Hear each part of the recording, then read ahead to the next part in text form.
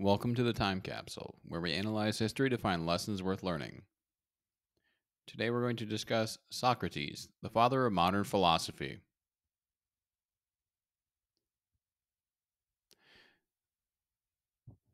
This affects you because he's the founder of the Socratic method. And it's a basis for a lot of philosophical debates.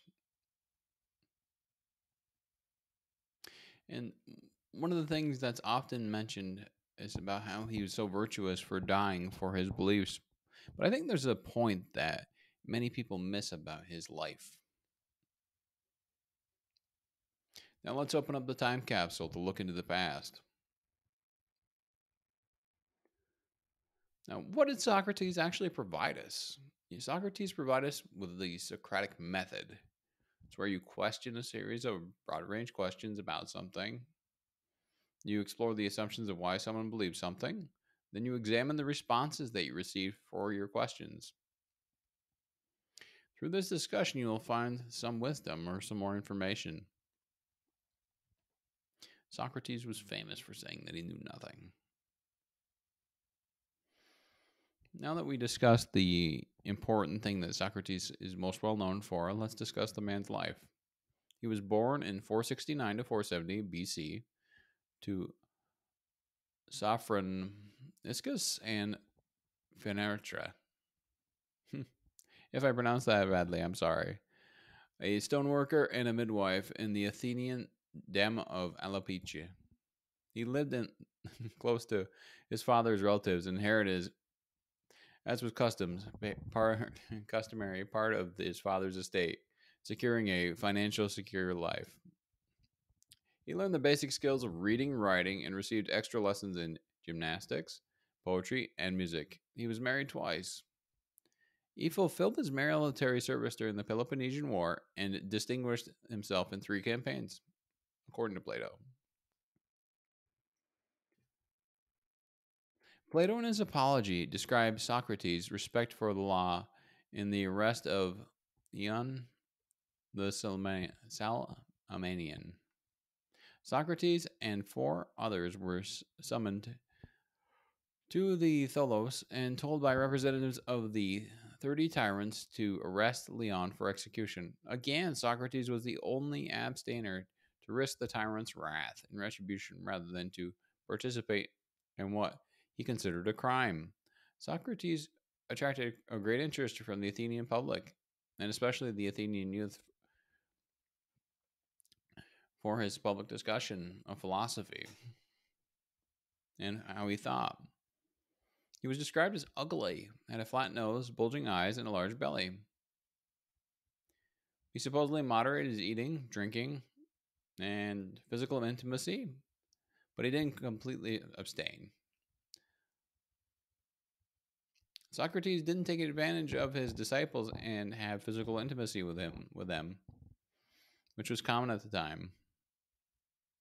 He did not take sides between the Democrats or the oligarchs in Athens. He married Xanthippe in his 50s. Then he had three sons. In 404 BC, the Athenians had been crushed by Spartans at the decisive battle of Aegospotami. then the Spartans laid siege to Athens. They replaced the democratic government with a new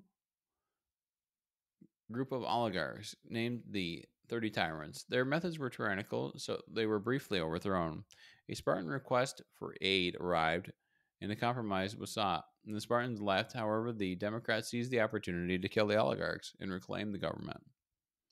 Socrates died in Athens in 399 BC after a trial of impiety and the corruption of the young. According to custom, he proposed his own penalty that he be given free food and housing in, by the state for services rendered. He proposed an alternative to be fined one silver mina of silver, according to him. That's all he had. He spent his last day in prison amongst his friends and followers, who offered him an escape. He died the next day, drinking poison in accordance with the sentence. Socrates died in Athens in 399 BC. He died at the ripe old age of 70. I think now the thing that I think that is most telling about Socrates in particular that most people do not discuss is the fact that he was willing to face the consequences of his actions, even if it meant death. That's true, but it's more the fact that he was 70. Now, imagine that the average lifespan for the era that you were living in was 35 to 40, and you lived double that. Right now, that would be like someone living to be 150. Now, let me say that again. That'd be like someone living to be like 150 or well over 100 years old. At that point in time, you probably see most of your friends and family go on and pass you by. You've lived to ripe old age. So I, his sacrifice was more understandable because of the point in time that he was at his life, especially considering the age in which he lived in. If he was 20 years old and made that same sacrifice, I think that would be far more meaningful rather than if you were, say, 90 or 100 and then you're given that option What's a few more days where you're not certain that you're going to live versus an entire lifetime that you have ahead of you? Not to say that it wasn't courageous or anything like that, because he did serve in the Peloponnesian War, but I think this is a point that's often discussed and isn't really brought up in the correct light because you have to consider it from the perspective of the individual at the time. He did offer several other benefits and things worth learning as well. Socrates believed in the value of introspection and self examination. He famously, he famously said, An unexamined life is not worth living. This emphasized the importance of reflecting on one's beliefs, values, and actions and leading to a more meaningful and purposeful life. It's only by asking yourself questions and questioning why something is the way that it is that you're able to determine if it's the right, right for you. Perhaps it was right at the time, but maybe you've inherited some beliefs that aren't correct for you. We often have beliefs handed down from generation to generation that may not be meaningful in this modern times because they may be reflective of a different time period entirely. As discussed previously, like the uh, the ideas of chivalry and their thought process and how men are held up to a standard of being chivalrous. I think the, the overall thought process isn't necessarily a bad thing, but from a historical perspective, it doesn't make any sense. We are as we are, and we are as we always were. No better and worse.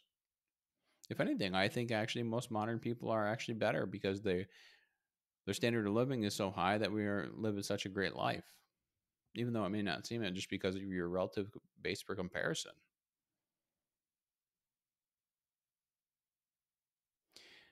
Another thing that Socrates is famous for is for his intellectual honesty. He admitted that he knew nothing, and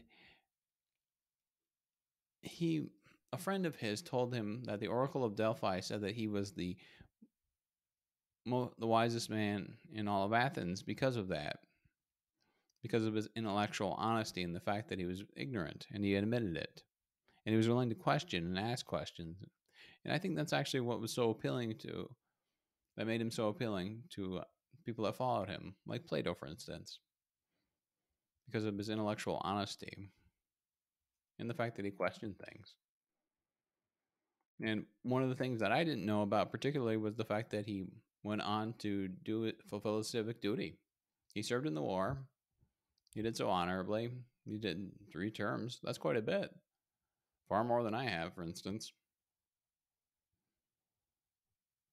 And the the other thing too that's important is his influence on Western philosophy, because the he he didn't really record any of his teachings. His teachings were recorded by his students, Plato and Xenophon. Xenophon. And this and that emphasized ethics, justice, and the pursuit of wisdom, and that continues to shape our modern philosophical thought process because it was the basis for the foundation thereof. Now, I hope that you enjoyed your time in the past. We have to close the time capsule and leave the history behind us. Thank you for coming with me on the journey into the past. I hope to see you soon when we open the next time capsule.